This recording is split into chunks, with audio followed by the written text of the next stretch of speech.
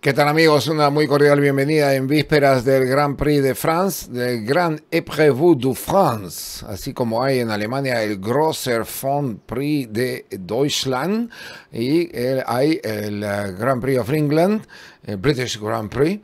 Vámonos ahora entonces con lo que dice Pirelli y Mario Isola sobre lo que es el factor tan tan importante, sobre todo considerando en Baku lo que sucedió con los accidentes de tanto Lance Stroll como de también el líder Verstappen y hay mucha controversia y hay muchas opiniones y no hay nada claro. Yo la tengo clara. Estaban usando camber y presiones, que es lo que vienen haciendo toda la vida toda la vida vienen utilizando presiones altas, presiones bajas y cómo hacer la trampa. O sea, eso de acá en carreras de autos, en Fórmula 4, cuando yo corría, era quien tenía el diferencial bloqueado, LSD. Y ¿sabes lo que hacían para ver si lo tenías o no? Traías tu auto y enfrente de una pared levantaban el, el chasis con la llanta trasera y decían acelera. Y había muchos que se iban, que no lo hacían porque tenían limited slip. Esos eran los tramposos. En Fórmula Ford, 1973.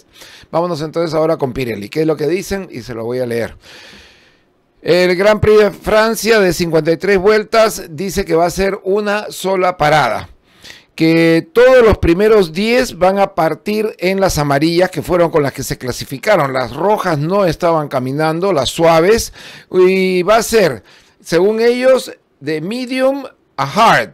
Un stopper. De la amarilla a la blanca una sola parada, que es para todos ellos. Y ahí va a ser el caso también para los que están fuera de los top 10. Los que no pasaron a Q3 son los que pueden escoger con qué compuesto partir.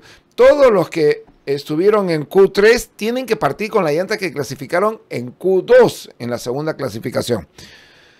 Puede ser que alguien y vamos a verlo mañana domingo, feliz día el padre. Vamos a ver si Betel sobre todo parte en duras parte en duras y ha habido red flag en las tres clasificaciones de los últimos tres Grand Prix. Mónaco, eh, Leclerc, Baku y hoy día en Francia.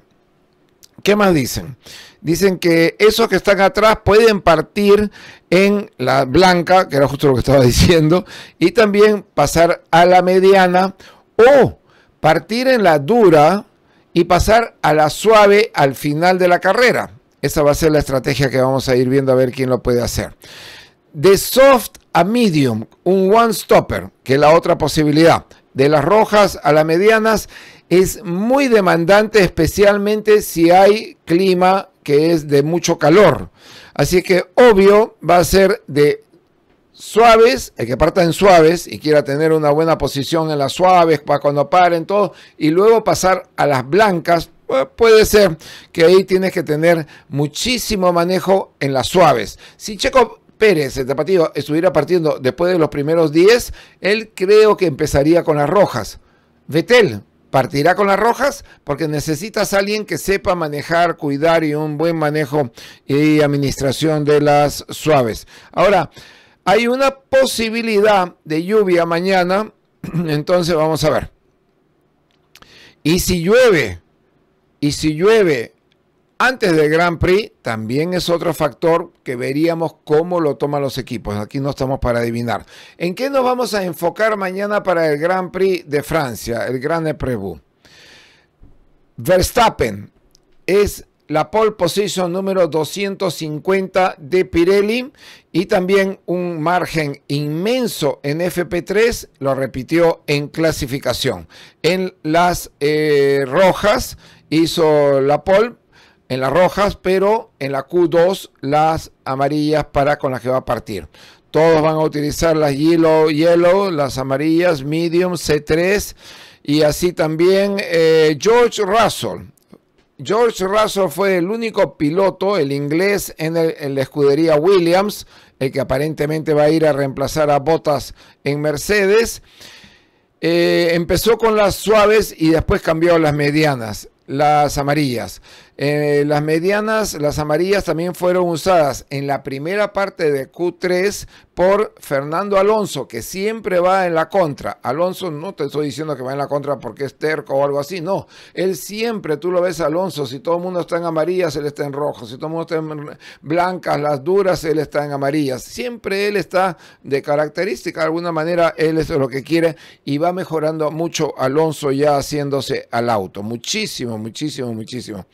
Dos eh, banderas rojas en Q1 y una que terminó la sesión prematuramente con 20 segundos cuando venía Raikkonen sobre todo y Giovinazzi venían los Alfa haciendo los tiempos, se los quitaron. Una pena porque ellos siempre han estado clasificando mucho mejor. Mañana ojo con los Alfa Romeo.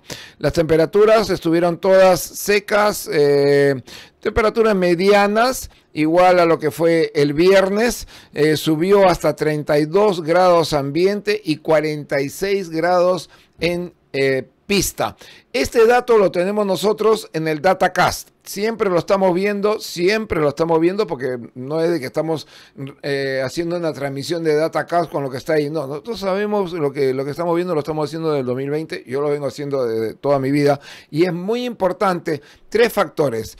Eh, la temperatura ambiente, la temperatura de la pista y el viento. Sobre todo aquí en Port Ricard con esa larga recta llamada apropiadamente Mistral, que es el viento de lo que es el sur de Francia, el Mistrale. Y luego hay, así como el Levante es en, España, Paraca es en el Perú. ¿Qué más entonces? Eh, mañana puede cambiar lo que es eh, la temperatura.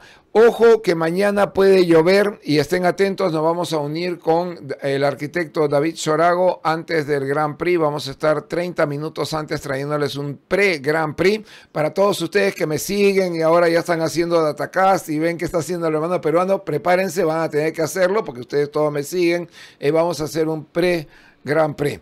Y por supuesto ya hay varios de la competencia que están haciendo Datacast. Es un honor, es un honor, es un compliment, como le dicen, que lo que hacemos muchos luego siguen.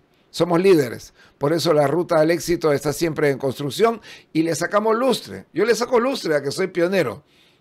Yo le saco lustre porque eso es en lo que me baso en la ruta al éxito que tengo que está siempre en construcción, en tener visión y tener ser pioneros en Automundo, programa de primicias automotrices. No se la pierdan, tenemos muy buenas entrevistas y muy buenos comentarios en automundo.com para todo lo que es el mercado de Estados Unidos, hispano, latino. Y también en automundo.pe, los dos unidos es para todo Latinoamérica. Y por supuesto en nuestro canal de YouTube y en nuestra página de Facebook. YouTube ya pasamos 78 mil orgánicos todos, orgánicos. Yo no hago trampa en mi vida y nunca hemos comprado un solo robot. Automundo, verde, verde, verde, el drama, la acción y la velocidad. Mañana el Gran Épreuve de France y luego nos vamos a Road America. Seis kilómetros de una linda pista de carreras para correr. Va a prometer ser una gran carrera. Ahí está el mexicano Patricio O'Ward, Pato O'Ward, que viene de ganar eh, la última en Belle Isle, en Detroit, en gran forma. Y Checo, que viene de ganar en Baku. Órale, México. Estamos acá contra el mando peruano.